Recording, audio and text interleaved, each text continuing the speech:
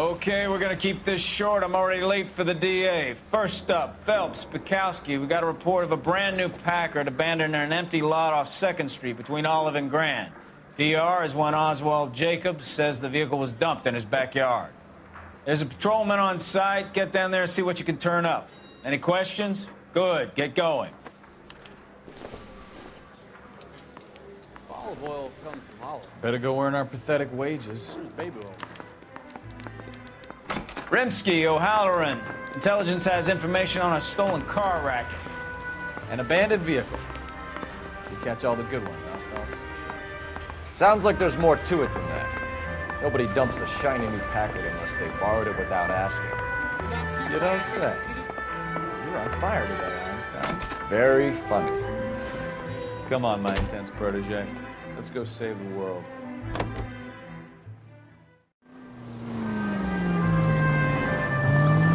You hear about Adrian? Broad in Seattle threw him out. Wife says she's gonna take him back. Women generally show more compassion.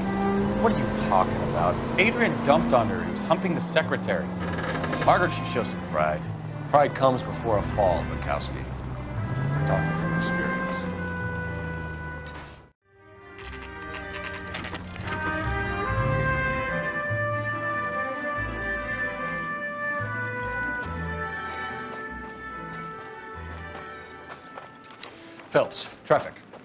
I'm Officer Houlihan. Car's down the alleyway, detectives.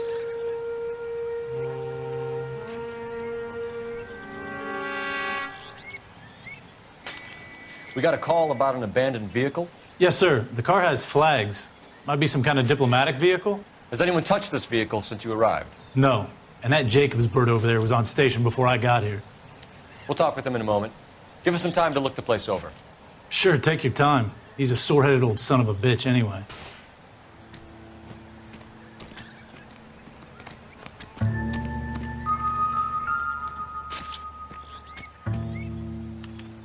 We'll have to use the registration to trace the owner.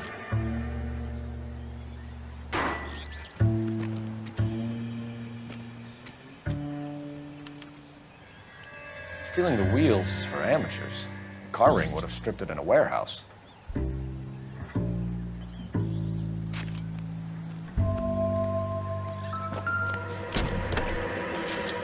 Empty.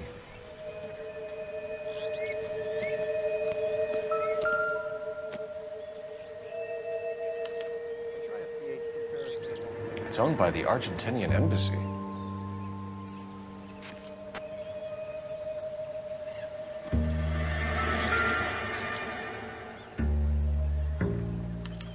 They must have taken the flag as a souvenir. Can't have any street value.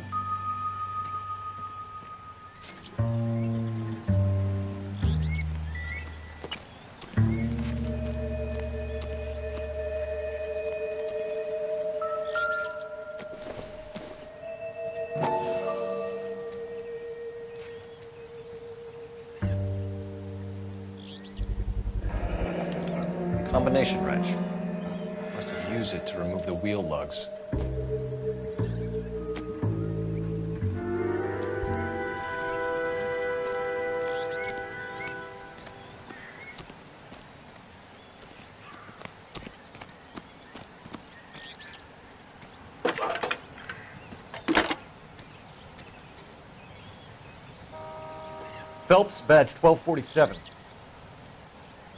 How can I help, Detective? Could you run the name Dewey Brothers? Possibly a dealership or car mechanics workshop. One moment. Dewey Brothers Packard Dealership, 629 Figueroa Street. Got it. Thanks, ma'am.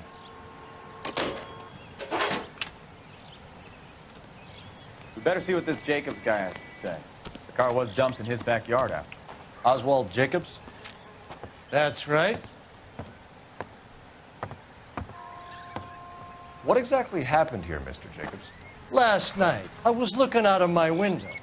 I like to keep an eye on what's going on. I can understand that. You see this empty lot? Damn kids play stickball here. Always breaking my windows, always asking for their ball back. Can we get back to the car, Mr. Jacobs? Don't be impatient, Sonny. Anyways, Last night, I see this brand spanking new Packard up on bricks. Did you see who stole the Packard? Hell yes, I did. I saw three goddamn Mexicans going to work on it, Can you tell us what they were doing? using the headlights of an old Ford so they could strip the thing. I yelled out to them, I'll call the cops. So they loaded up their car and drove off, tooting and hollering and yelling obscenities at me in Mexican. You speak Spanish, sir? No, I do not. After the uh, Mexicans left, you didn't go anywhere near the car? After I scared them off? No, I didn't go anywhere near that car. You went out to the car. Once they were gone, you had to take a look for yourself. I was curious. Ain't no law against that. So what if I took a look around that car? You can't be accusing me of nothing. Tell me about the car they were driving. It was an old Ford. I didn't catch the license number. You look like the kind of guy who notices details. You're right there. The car was old, but it looked brand new. Candy apple red paint job stands out a mile. What exactly did you see them take? They was working on the tires. That's all that was took. Right. So what did you take, Jacobs? Do you want my partner to pat you down? I found a notebook in the glove compartment. I was going to show you. It's on the chair on my porch. Thank you for your help, Mr. Jacobs. You can speak to Officer Thibault about signing a formal statement. When you get the car out of the way, if you could come back and do something about those kids. Well, how about we bring you an umpire's mask?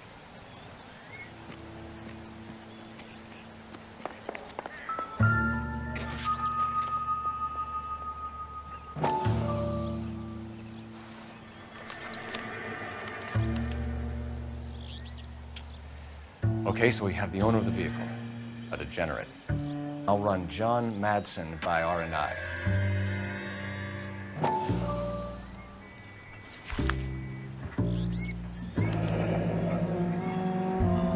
Contact details on a William Dewey.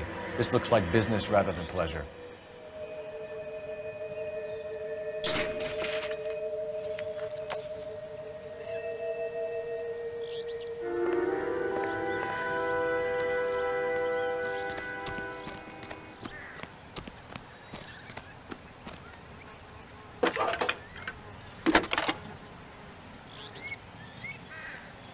Phelps, badge 1247. How could I help, Detective? Can you put me through to Michigan 2458, please? Connecting you now. Hello, can I help you? LAPD, ma'am. Can I speak to John Madsen, please? He's at school, officer. Uh, what's this about? Is he in trouble? How old is your boy, ma'am? Just turned 16. Wrong person, Mrs. Madsen. Sorry to disturb you. Any messages? There's just one message for you, Detective.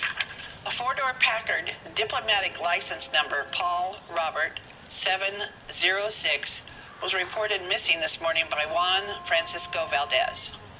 Could you have him brought in? He's already here at Central, Detective. He's demanding an audience, as he calls it. Thanks. Can you get a message to Captain Leary? Tell him we'll be in as soon as we can. Thanks for your help.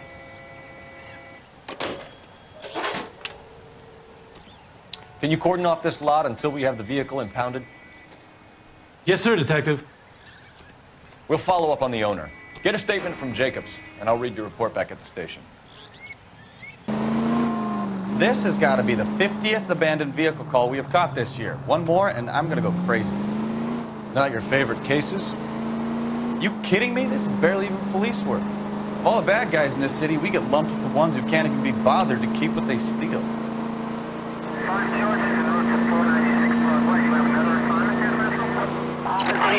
Shots fired off street. Help. Chateau and Valencia. Chateau and Valencia. Shots fired off street. Help. Unit to have a code 3 identified.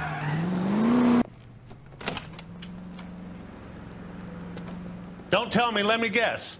You were making your way past the lot caught sight of the new model four door and couldn't help yourself. You could see yourself in that car and just had to take a closer look. Well, I can't say as I blame you. LAPD, Mac. We'd like to speak with the owner. That's me, William Dewey, proprietor at your service. We're investigating the theft of a Packard belonging to the Argentine embassy. Are you missing a combination wrench? I don't know, Detective, but I know how we can find out. Follow me. If you don't mind, we have a few questions. Packards are great cars, but this doesn't look like the kind of place favored by foreign embassies. How do you know Valdez? I don't know Valdez. The embassy bought the car. All I know is he must know a quality car when he sees one. And I know a shyster when I see one. You and Valdez are in this together. Me and Valdez? I hardly know him. Valdez wouldn't wipe his shoes with me.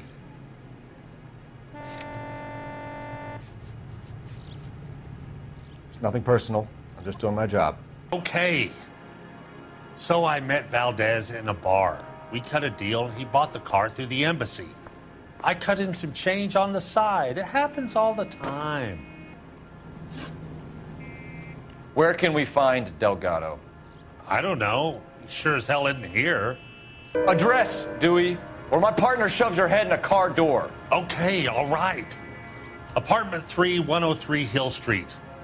And tell him from me, if he ever shows his face around here again, I'm gonna kick his butt from here to Kingdom Come. A wrench from this dealership was used to strip the wheels from a Packard last night, Mr. Dewey. A couple of Hispanics were seen taking parts. We've had a spate of thefts ourselves. Comes with the location. Thieving bastards to steal anything the minute your back is turned. What are you hiding, Dewey? Spill it. You don't want the LAPD getting too interested in this place. So I hire a few illegals. It's cheaper than hiring returning GIs, and they have less attitude. Downside is, they're a little light fingered. Thank you for your help, Mr. Dewey. No problem. God damn that kid. I'm just an honest car salesman. Seems like you just don't know who you can trust these days. Going to movies, Dewey. You're missing your calling. Time to visit Gabriel Delgado. See how good his excuse is. The story in the Examiner about the Navy developing three-dimensional movies? What's a dimension? You know, like a graph.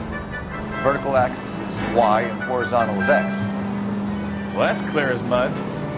Third dimension would be Z. So things would be popping out of the screen.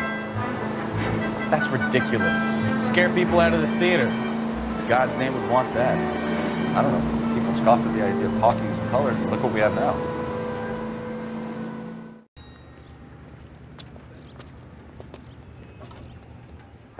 Do have a Juan Francisco Valdez in for questioning? Sure do, Phelps. Your bird's an interview, too. And get this, he's wearing gloves and doing his best not to touch anything. Can you beat that? Sounds like we don't want to keep this guy waiting. It's this way. This is your automobile, correct? No entiendo. You are a modest little person. About time. Are you the senior officer I requested? I'm Detective Phelps, and this is Detective Bekowsky. Have you any idea how long I've been waiting to speak with you? I am needed back at the consulate, and you keep me here like a common criminal. All right, friend. Let's take a deep breath and start all over again. Mr. Valdez. Consul General. I insist on my full title. Where did you purchase the car? My secretary and driver arranged the purchase. A disreputable place, a Dewey Brothers by name. As soon as I can have it arranged, I will have my Hispano Suiza brought up from Buenos Aires. A Packard, Valdez? A snob like you doesn't drive an American car. I want answers or I'll smack you around the teeth. William Dewey offered me a substantial bribe to make a purchase at his establishment. It is not unusual to make this kind of transaction in the civil service. Oh, tell that to the Argentine taxpayers. Consul General, we have located your car. Can you tell us how it was stolen? It must have been stolen from the consular garage. Terribly inconvenient, of course. I want the perpetrator soundly flogged. You have a pretty good idea who stole the car, don't you, Consul General? Are you going to tell me, or do I shake it out of you? There's no call for violence. I suspect a disgruntled boy from the car dealership. You have a name for this kid? Gabriel, like the archangel. I have no surname. So tell us about this kid, Gabriel. You had a run in with him? Mecánico. A presumptuous young man who did not know his place. He presumed to ask me questions. We do a lot of presuming here in the United States, Consul General. It comes with the turf. Fuck young boys, Valdez. Are you a madman? This will cause an international incident.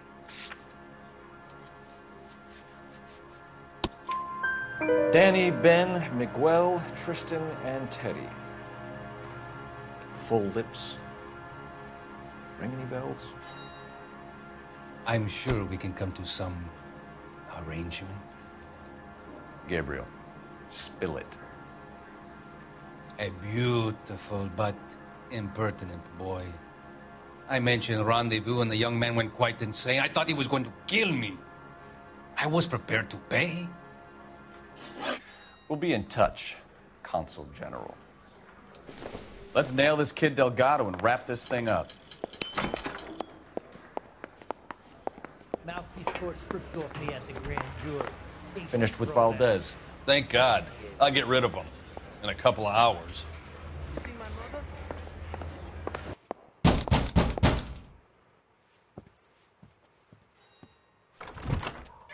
Yeah, LAPD, ma'am. We're looking for Gabriel Delgado. Gabriel? We're from the police. Policia, you understand? Yes, I understand. Could you come inside? What is your name? Ana Rodriguez. Is Gabriel Delgado here, Ms. Rodriguez? No. What do you want with Gabriel? Is he in trouble? Stay where you are, Miss Rodriguez. We need to take a look around. But he is not here. I have told you. Check out the surrounds. I'll stay with the broad. Right. Difficult so how's it gonna be when you go suspect into labor and the he's scene. not around? Certainly Gabriel's pride and joy. You are wrong about Gabriel. He will be a good father. Already he works hard to provide for us. Serving breakfast for two, Anna? Unless Should you have help cleared us up. here, Anna, your little one won't be seeing Papa for a very long time. Souvenirs are a dumb move.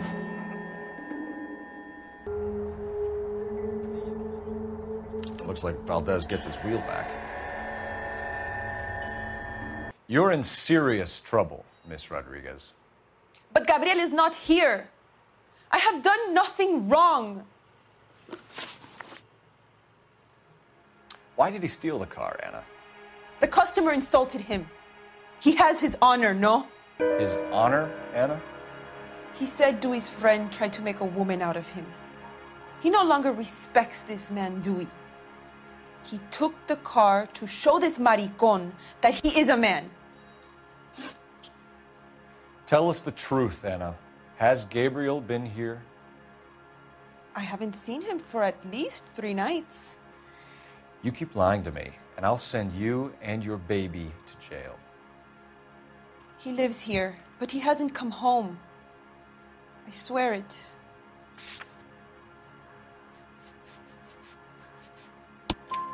Enough, Anna. There are signs all over this place that he's been back. He was here last night. I have never seen him so angry. He went out to his shed and put some things in it. I don't know what, and I don't want to know. I love him.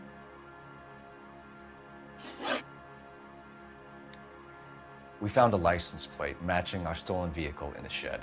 Add in the assortment of parts, and we can make Gabriel for a dozen other thefts. It's time to get serious, Anna. You must ask these questions of Gabriel.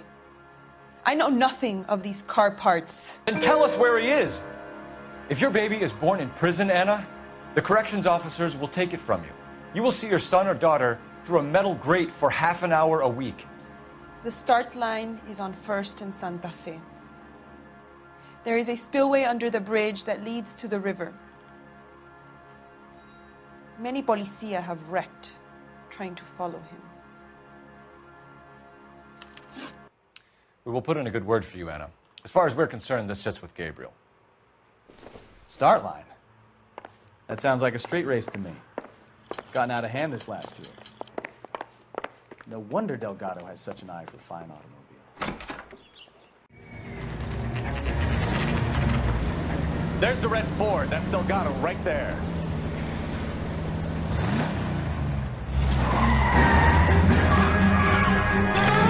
Quick! They're getting away! Phelps, 1247. Requesting assistance at First and Santa Fe.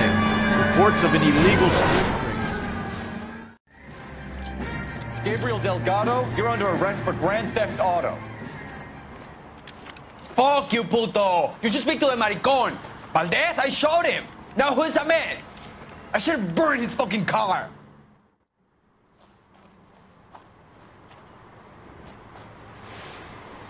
You got a foreign dignitary outed as a fruit and a kitty raper, a car dealer we're gonna let slide for the kickbacks, and a street punk car thief who sure as hell won't be taking liberties with other people's autos again anytime soon. That, Detective Phelps, is not a bad haul. You keep your chin low and your hands high, and you keep bringing me clearances just like that one. That's textbook policing, and we need more of it in this department.